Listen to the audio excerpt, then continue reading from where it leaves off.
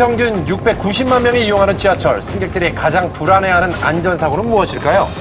화재가 가장 불안해요. 혼날까봐 제일 걱정이죠. 예, 지하철 화재가 가장 불안한 것 같습니다. 오늘 오전 서울 구로구 구로역에서 불이 났습니다. 부산 도시철도 1호선 전동차에서 불이 났습니다. 지하철은 화재가 났을 경우 대형 참사로 이어질 수 있기 때문에 더욱 조심해야 하는데요. 2003년 약 350명가량의 사상자를 낸 대구 지하철 참사로 많은 시민들이 충격에 빠지기도 했었죠.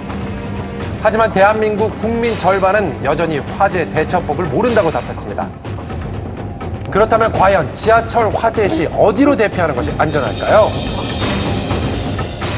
자, 지하철 화재. 이게 지형적으로도 아무래도 지하철이기 때문에 깊고 또 이용객도 많습니다. 이동하는 것도 좀 보면은 힘들고요. 예, 일단 대형 대- 참사로 이어질 수밖에 없는데 계단을 타고 오- 위로 올라가야 되지 지상으로. 않겠어요? 일단 지상으로. 지상으로. 예. 저는 예전에 어디 영화 같은 데 보면은 설로로 막 가더라고요. 설로로요? 네, 설로. 설로로 그냥 쫙 해서 다음 역으로 빨리 그냥 가는 거야. 어머나. 그게 제일 빠르지 않을까? 그러면 거기 기, 거기다가 그 전철이 오면은 아니죠. 일단 화재가 나면 모든 지, 저, 멈추니까요. 저, 역들은 다 이제 멈추게 되니까 설로로 빨리 가는 게 그쪽이 제일 넓고. 지하철마다는 그 출입구 반대쪽에 비상계단 설치했다는데 그, 그렇게 알고 있어요. 과연 어디로 어디로 좀 가야 되지? 안전할까요? 어디로 가야 돼? 지금 예. 답이 있을지도 참 궁금한데요. 정답 알아보겠습니다. 누구나 당황할 수밖에 없는 지하철 화재. 하지만 이것만 알면 위험에서 벗어날 수 있는데요. 지하철 화재 시 어디로 대피하는 것이 안전할까요? 정답은 선로입니다. 화재로 인한 소송 피해보다 연기 질식으로 인한 인명 피해가 더 많습니다. 수직으로 대피하면 연기가 사람의 보행 속도를 추월하기 때문에 연기에 질식하게 됩니다.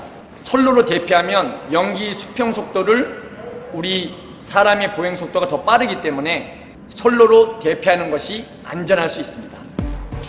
화재가 의심될 경우 비상 버튼을 눌러 영무원에게 사실을 알리고 승강장 20m마다 배치된 소화기와 비상 상황을 알리는 랜턴. 또 항시 구비되어 있는 방독면을 이용해 얼굴과 호흡기를 보호한 뒤 탈출하면 되는데요. 여기서 잠깐 지하철에는 피난 계단도 있다는 사실 다들 알고 계셨나요? 아까 김갑수 씨가 얘기하죠. 예. 아, 안에 뭐가 있을지 궁금합니다.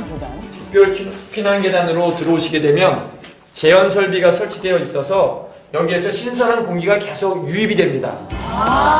재현 설비까지 설치된 피난 계단 과연 어디로 탈출이 가능한 걸까요? 열심히 따라가 왔습니다. 바로 지상과 연결된 피난 계단. 화재 대피 시엔 정말 유용하겠죠? 조금만 침착하면 큰 화마를 이길 수 있다는 사실 다들 잊지 마세요.